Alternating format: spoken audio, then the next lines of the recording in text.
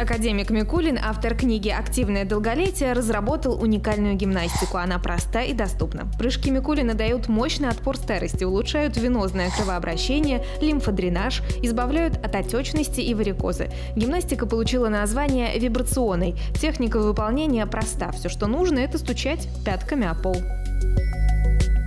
Встаньте прямо и слегка на носочки, оторвав пятки от пола на пару сантиметров. Теперь резко опустите пятки, ударяя ими о пол. Вы почувствуете, как волна вибрационных сотрясений прокатится по всему телу. Венозная система тут же получит мощный энергетический толчок.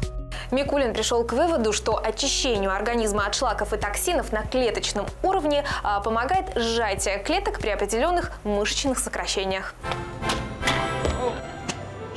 Сам Микулин сравнивает это движение венозной крови с выбиванием пробки из бутылки при ударе по дну. Импульсивный отток венозной крови от нижних конечностей вызовет аналогичный приток свежей крови от сердца, обогащенной кислородом.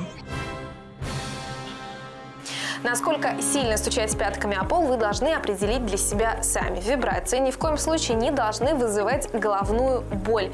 Они должны быть максимально естественными, а, похожими на вибрации, которые мы испытываем во время пробежки. Ну и, конечно же, это упражнение не стоит выполнять в обуви на каблуках. При выполнении гимнастики необходимо соблюдать ритмичность. Подниматься и ударять пятками о пол необходимо раз в секунду. Один подход составляет 60 прыжков. На эту гимнастику потребуется всего одна минута. Делать ее можно и в течение дня до 5 раз, каждый подход по 60 прыжков.